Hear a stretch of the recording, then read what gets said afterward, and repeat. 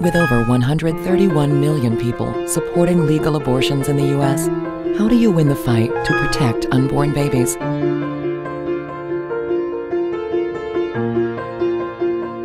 Alone, you can only do your part.